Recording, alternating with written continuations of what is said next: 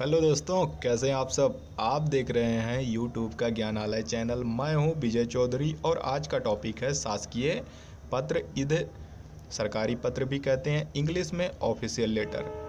सरकारी पत्र क्या हैं? इसकी परिभाषा क्या है? विशेषता क्या है? और सरकारी पत्र कैसे लिखे जाते हैं? यही इस वीडियो में बताया गया है।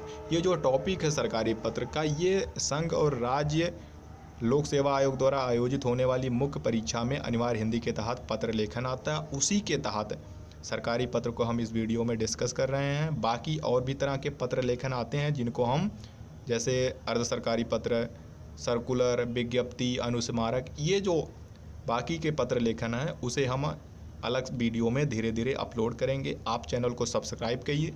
कीजिए। अगर आपके पास कोई जानकारी कोई क्वेरी हो तो आप हमारे फेसबुक पेज www.facebook.com स्लैश ज्ञानालय पे हमें संपर्क कर सकते हैं। नीचे आप अपना क्वेरी अपना सुझाव नीचे कमेंट में भी दे सकते हैं। This is me Vijay Chaudhary अगर आप मेरे बारे में और कुछ जानना चाहते हैं तो Facebook page W W dot Facebook dot com slash Vijay Chaudhary dot official से संपर्क कर सकते हैं। तो सबसे पहले क्या है सरकारी पत्र, ये जान लेते हैं। इसकी परिभाषा क्या है? सरकार के कामकाज से संबंधित पत्र सरकारी पत्र कहलाता है। इसका प्रयोग सरकारी विभागों या कार्यालयों द्वारा किया जाता है। सरकारी पत्र नाम से ही क्लियर है कि सरकार के कामकाज से संबंधित जो पत्र होगा, वो सरकारी पत्र कहलाता है। सरकार के जो कार्यालय हैं, विभाग हैं, उनके बीच में सूचनाओं का आदान प्रदान होता है। उसके लिए वह जो पत्राचार जिस पत्र का प्रयोग करते हैं अपने पत्राचार में, उसे सरकारी पत्र कहा जाता है। सरकारी पत्र का एक निश्चित प्रारूप होता है, उसकी कुछ विशेषताएँ होती हैं। उनकी जो प्रमुख विशेषताएँ हैं, हम उसे यहाँ पर डिस्कस कर रहे हैं कि यह पूरी तरह से औपचारिक होता है। इसमें व्यक्तिगत परिचय नहीं होता। जब सरकारी पत्र लिखा जाता है तो उसमें किसी अधिकारी का नाम या पहचान या पता कुछ नहीं लिखा जाता है। अगर लिखा जाएगा तो वो सरकारी पत्र सरकारी पत्र नहीं कहलाएगा, वो पर्सनल पत्र हो जाएगा, व्यक्तिगत पर्सन पत्र हो जाएगा।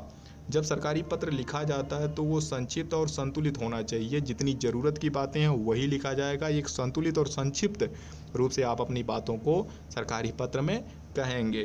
भाषा जो शब्दावली है आप, जब आप सरकारी पत्र लिख रहे होते हैं तो उसमें राजभाषा की शब्दावली का प्रयोग किया जाता है। ऐसा नहीं कि आप देसी, ग्रामीण या कुछ ऐसा मतलब कोई ऐसी बोलचाल की भाषा प्रयोग नहीं करेंगे। जो भाषा होगी, वो राजभाषा शब्दावली की होगी।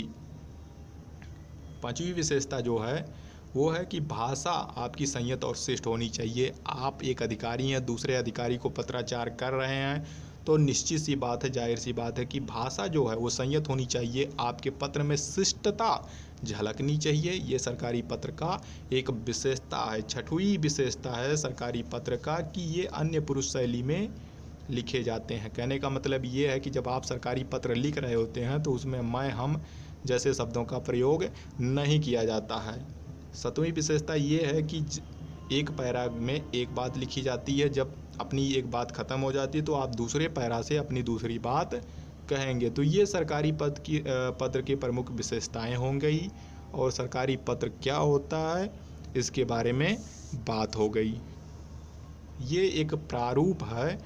पर जब प्रश्न आते हैं, मेंस में जो प्रश्न आता है, उसमें आता है कि एक प्रारूप लिखिए सरकारी पत्र क्या है और एक प्रारूप लिखिए, या फिर आता है प्रश्न कि सरकारी पत्र क्या है, एक उदाहरण देके स्पष्ट कीजिए। तो ये अगर प्रारूप लिखने को आएगा तो आप इस तरह से लिखेंगे। और अगर उदाहरण लिखने के लिए आ रहा है तो उसे मैं अभी आगे बताऊँगा कि उदाहरण एक देके स्पष्ट करूँगा कि कैसे सरकारी पत्र लिखा जा रहा प्रारूप जो है, जो ढांचा होता है सरकारी पत्र का, वो ऐसे होता है। दाई तरफ़ सबसे ऊपर में लिखा जाता है पत्र संख्या, नीचे विभाग, फिर स्थान और दिनांक। तो ये सारी बातें दाई तरफ़, पत्र के दाई तरफ़ लिखी जाती हैं ये।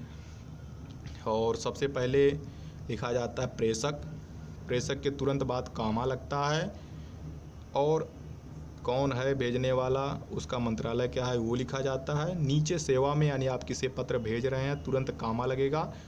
और उसका जो है, पद क्या है और कौन सा कार्यालय या मंत्रालय है, वो लिखेंगे। फिर आप विषय लिखेंगे कि किस विषय पे आप पत्र लिख रहे हैं, वो लिखा जाएगा। और नीचे लिखेंगे, महोदय, कामा, अपनी बात लिखेंगे, एक बात ख़त्म हो गई, आप दूसरी लाइन से दो पैरा लिख के, दो नंबर डाल के दूसरी बात लिखेंगे। जब पहली पैराग्राफ यहाँ से शुरू हो रहा है तो यहाँ पर एक नहीं लिखा जाता है। दो से शुरुआत हो रही थी, नंबरिंग दो से होगी, आगे और बात लिखनी होगी तो आप तीन लिखेंगे, चार लिखेंगे।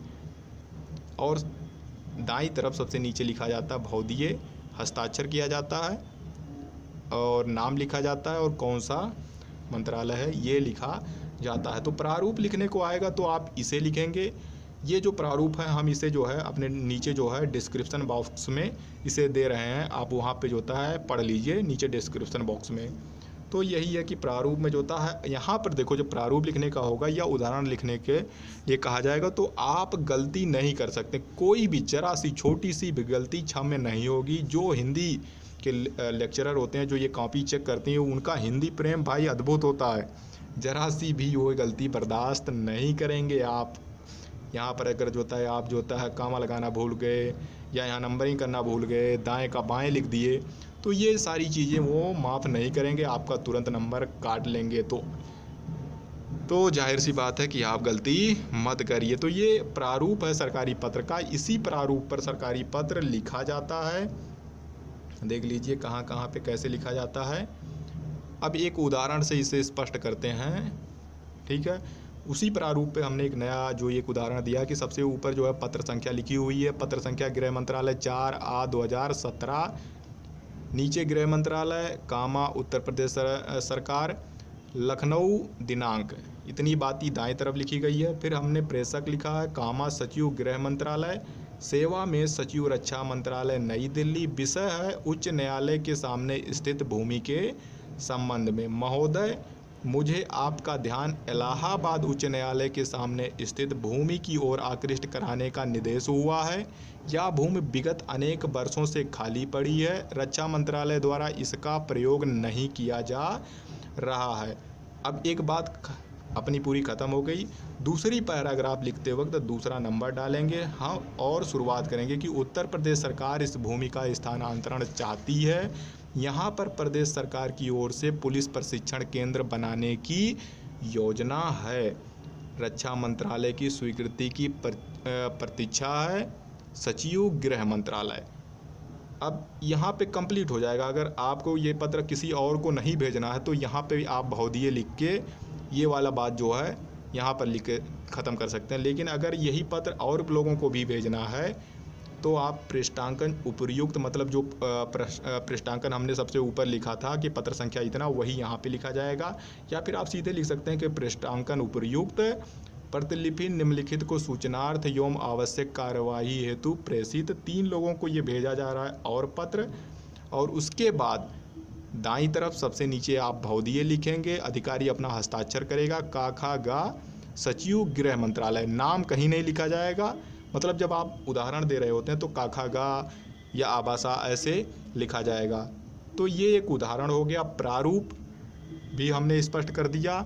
तो सारी बातें सरकारी पत्र में क्लियर हो गई हैं। आप डिस्क्रिप्शन बॉक्स में नीचे इसकी जो होता है, लिख सकते हैं। नीचे डिस्क्रिप्शन बॉक्स में हम लोग इसे लिख दे रहे हैं। तो आपको वीडियो कैसा लगा, ये हमें ज़रूर बताएँ। वीडियो को लाइक, शेयर और सब्सक्राइब करना ना भूलिए। Thank you so much for watching our videos.